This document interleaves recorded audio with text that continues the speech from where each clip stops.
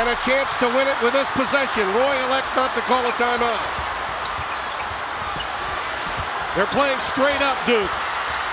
Berry off the bounce. That ball was deflected. Allen's got it. Throws it into the air. The Blue Devils win. Again. Lulled to sleep. And back again.